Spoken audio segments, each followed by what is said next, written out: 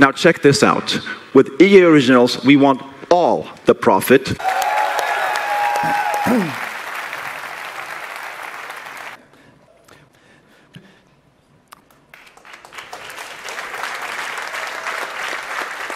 Hey everyone. Everyone in this community is focusing on making this game as best as it can be and expanding on the experiences that we've already had.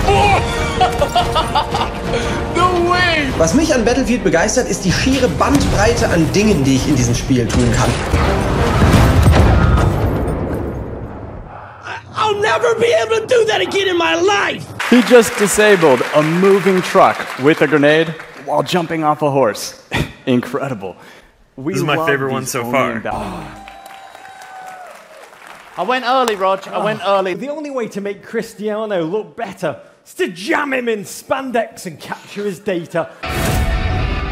There is one question on everybody's lips. When are you guys actually going to release a good game? Last year at EA Play, we unveiled EA Originals. The profits from these games go back to the hands of EA. Stay the hell away from me, okay?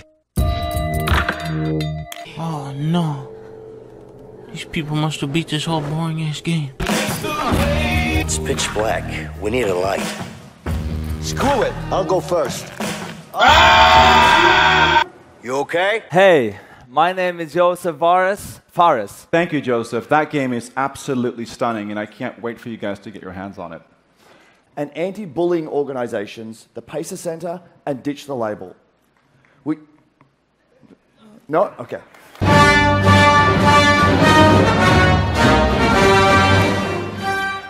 Hello. He's not a girl gamer. What up, guys? I'm um, I got my boy Marcus, executive producer here.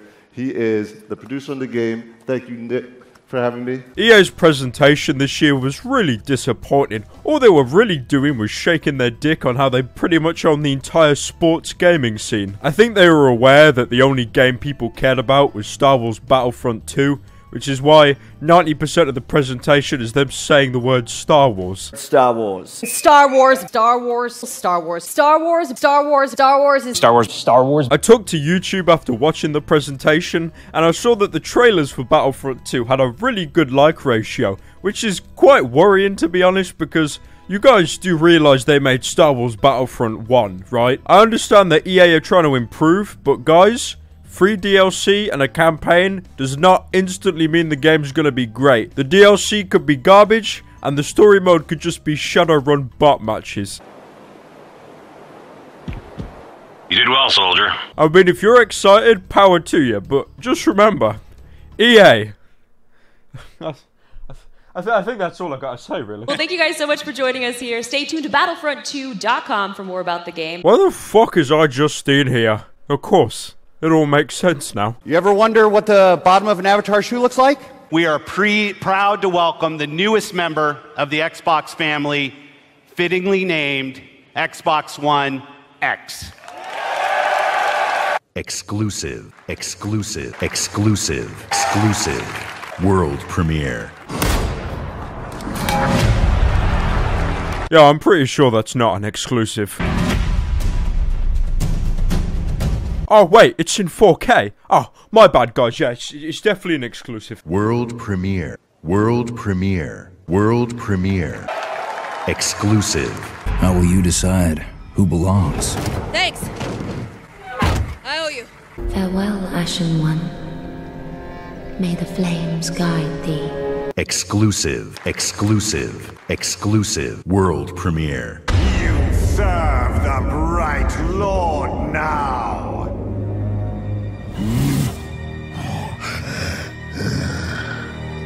right lord, dark lord. Same thing, really.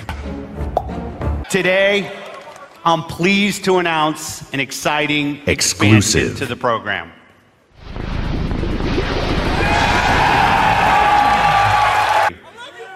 including world premiere. Shut up your fucking dust box, I phone, son! Go bang him now! Fuck you! Yes, it's possible to take on these two things.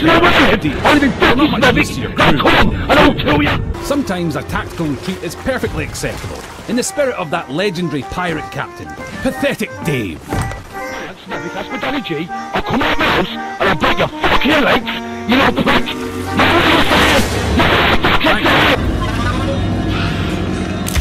Boom dickhead. Microsoft's presentation was leagues above EA's, but EA's is usually set at the Bentley subglacial trench, so it's not like they had much competition in the first place. The exclusive lineup of games they had was actually decent for once. The Last Night definitely stood out the most to me. The stylized graphics really reminded me of Heart of Darkness or Another World, so I'll definitely be keeping my eyes on that. It's also nice that Microsoft are pretending to be real human beings and not a legion of lizard people by taking feedback from their customers and they're now integrating even further backwards compatibility into older games, which is just great. Now I can play Beyond. No, I got that on Steam. Why would I? No. Microsoft did have its more wacky moments, however. They announced a, a car for some reason. Like the Xbox One X, it's a monster. They also had this guy announcing a Battle Royale style game, which completely ruined the game if you ask me. Looks like he's gonna sneak in on the back window. Here we go. Shot in the back. That's one twice. Immortal's in trouble. Somebody from Mixer decided to chime in. And they announced Minecraft in 4K. In my opinion, it should have been Roblox in 12k, but you know, we can't all get what we want. The bigger games they announced really didn't catch my attention. You've got Assassin's Creed, which is set in the Egyptian era for some reason, which means you've probably lost a lot of verticality there from climbing buildings. Is that a giant snake? Alright Ubisoft, you got my attention. State of Decay 2 looked more of the same. I enjoyed the original and played a lot of it, but the lack of polish and character development really made me fall off the game eventually, so hopefully they tweaked that with the second one, but you don't even have fucking lip sync in the, in the, the world premiere, so you, good luck with that. Shadow of War looked decent. I like the guy they shown in the premiere. I call him uh, Discount Shrek. It's nice to see Metro has a new setting, not just skulking through subway tunnels again. Also, a new Life is Strange was announced, and I just have to say, Deck 9, do not fuck this up. You understand me? If I play this game and I see a single Doge meme, I will sue. You better run! You liar! Thank you. Thank you. Really, you're, you're too much. Yes. Yes. Of course. I know. Yeah. Okay. Okay, already. Can, can we just. Come on, you are professional journalist.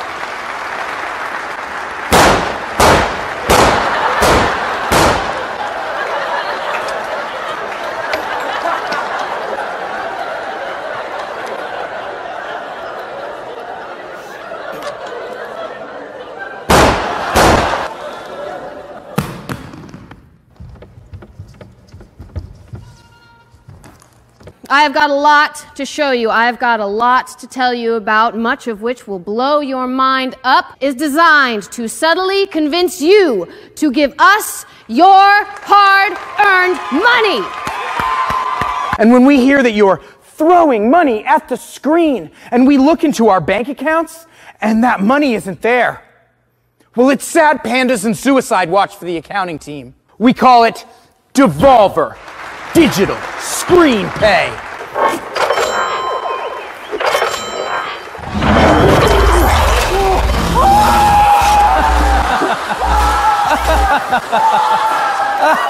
Devolver Digital Earliest Access. And we think it will be a revolutionary way to hastily rush unfinished game content out to consumers. Devolver Digital is now able to release new titles into the marketplace earlier than ever before. How much earlier? We are talking point of conception. A developer thinks an idea and bam, that shit's available for sale. Sound far fetched? Wrong. Clamp your gob, you fucking moron. The servers are full of noobs with Devolver comment created content. It is you, the player, who is in control, and it is available now already on every major forum, message board, and live chat.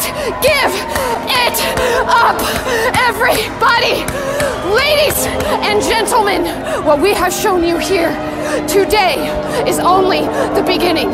tomorrow's unethical business practices today. The future of video games and the future's future, future, the future's futures, future, the future's futures, future, the future's futures, futures, the f- futures, futures, the futures, future, future, the futures, futures,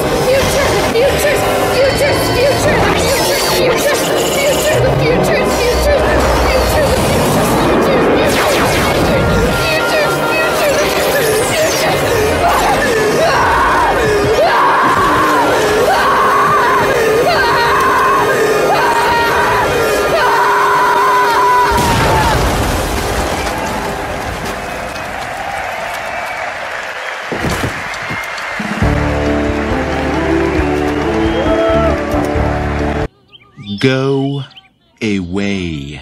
Introducing Creation Club, a collection of new game content for Skyrim and Fallout 4, including new weapons, new armor. Isn't that just the Chinese stealth armor from Fallout 3? Browse the selection in game by category and use credits to download right there. Your new content will appear automatically. Creation Club content is made by So, what's next? Let's start by talking about virtual realities. Bethesda's stuck in a time capsule at this point. Their most successful franchises, Fallout and Elder Scrolls, they're not innovating them, making more additional content. They're either sticking half-assed virtual reality onto them, or turning it into a card game. I appreciate they're trying to help modders get some income, but in the long run, you're bringing paid mods back which sets a really bad precedent. The majority of stuff they announced was spin-off stuff like Skyrim for the Nintendo Switch, but I'm definitely interested in the spin-off Dishonored and the new Wolfenstein game. What, what you say? You say you're Nazi? Oh, fuck this. Motherfucker! Let me say this again. I ain't no goddamn Nazi. In conclusion, AAA games they announced, good. Everything else, meh. And we thank all of you online for joining us. Please have a good night. 朋友是一个坚韧不拔的纪录片，在。And that was an awesome that was an awesome new trailer for Knack 2. You play Becky Marney, who is a homicide detective in charge of the investigation. 重要なポイントだというふうに思っています。で、それはあの自分の、えー、自分がなりたい人を作り上げると。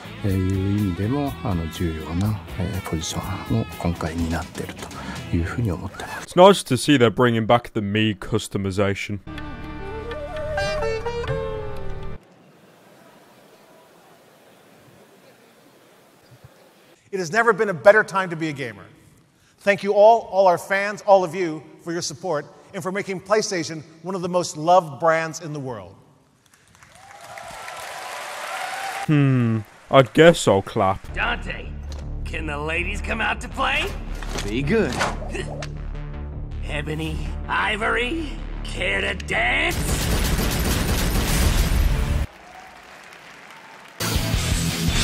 Hey, you got a bite. Don't let up. This is powered by a new next gen engine.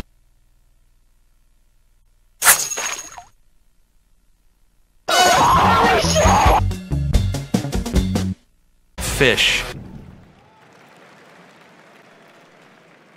Sony's presentation was definitely a mixed bag. I'm not too much of a Sony person myself, but some of the stuff they announced was amazing. Like, for example, Shadow of the Colossus. I never even played the original, I'm still hyped for this shit. Sony also announced God of War Beard Edition. Also, it's in Skyrim now, I think. And one of the more controversial titles was Destiny 2. Hey, hey, come, come, come back. It's, it's not that bad. Come back. The gameplay in the original Destiny was great, but they really messed up on the lack of narrative or story. You just felt like you were grinding, killing, grinding, killing, and there was no overall narrative progression. I hope to Christ they fix that in the sequel, or they'll just have a bunch of exclusives. Yeah, we're fucked. Hello, everyone, and thank you. We've always wondered what could happen if our crazy rabbits were unleashed upon the world of Mario. Incredible. Today, the dream is reality. Who had this dream of Mario and the gaming equivalent of a minion? Voss? it is my great honor to welcome a very special guest. The first time somebody told me that, I don't know, I thought they were bullshitting me, so boom, I shot him. So what what have you brought Oh, with you? well. What did you bring? This is a life-size replica of one of the weapons from this game. Wow. So let's take a picture. So the rabbits have been teleported into the, uh, the Mushroom Kingdom, and it made the world completely unstable and chaotic. So Mario, as a true hero, wants to save the day. This sounds exactly like a DeviantArt fanfiction.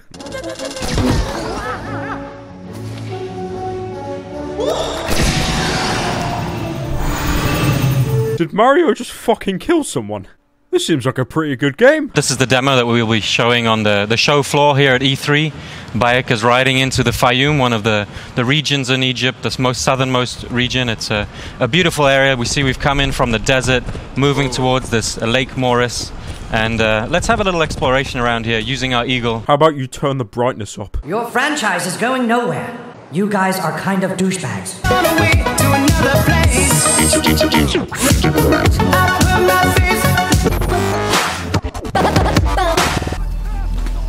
We got piggies.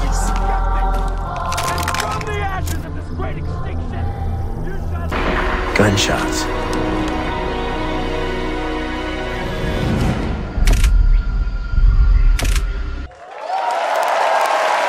Some of the stuff Ubisoft announced really caught me off guard, like the Rabbids and Mario crossover. I don't know why they chose Rabbids when they had Rayman. They probably should have chose Rayman, but whatever. The game itself seems to work like a turn-based strategy, kind of like XCOM. I just said XCOM and Mario in the same sentence. X-ray neutralized. I'm most excited for Beyond Good and Evil 2, how they're going to expand the lore, because the universe already has such an array of weird and wacky characters. The game I'm most worried for is definitely Far Cry 5. The Far Cry franchise as a whole has this really horrible tendency to give you a really cool looking antagonist or like a sympathetic villain almost. So they spend all this time crafting this villain you're meant to despise, and you see him about 15 minutes of a 30 hour game. By the look of it, Ubisoft have opted for a silent protagonist. I loved Jason Brody from Far Cry 3. Having this guy descend into basically madness over the course of a game, it was really interesting to watch. And then they fucked it up with Ajay Ghale in Far Cry 4. One of the most blandest protagonists I've ever played. Welcome to my church. Away from church. That sells guns? Of course. Behold the lion of the tribe of Judah. The root of David hath prevailed to open the book and loose the seven seals thereof. Uh, I, I don't know what to say. I'm a boring protagonist. If they make your character a nameless mute or a very quiet, passive person like Ajay, they've really missed a massive chance to make the game more interesting. And Ubisoft, if you have no idea what direction you want to take your protagonist, just have him voiced over by a rabbit.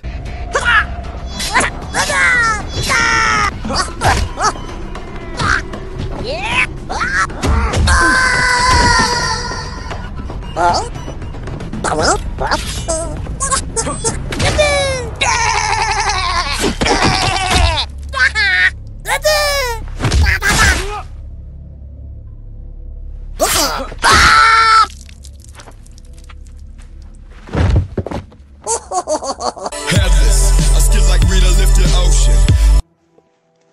The game is not fun, why bother? It's fun, fun, fun, but the game is also something else. It's not fun, but in the end, it's not just where you can take your game, it's where your game can take you. 皆さん、 You may have already heard about it during Bethesda's showcase that was held a few days ago. It was announced that select Zelda items will appear in the Nintendo Switch version of Skyrim. Oh, when did this Master Sword get in my hand? Bring people together. Play anywhere with anyone. Video gaming is not fun, I didn't care that much for what Nintendo was announcing this year, but holy Jesus. Super Mario Odyssey looks like it's gonna be amazing. In the original trailer, I thought the game was just restricted to a human city, kinda like Sonic 06. Are you seeing this? This is the. This game is broken! This is abysmal. But all these amazing characters and places they're showing, you've got Halloween Town from Nightmare Before Christmas, the T-Rex from the PlayStation 1 tech demo, and of course you got a cameo from Carmen Sandiego.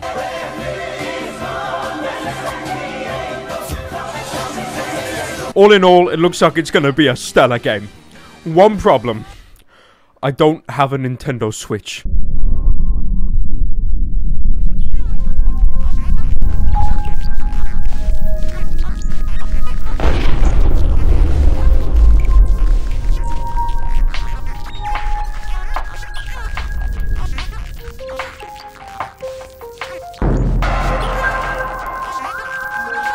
And again, it, it just works.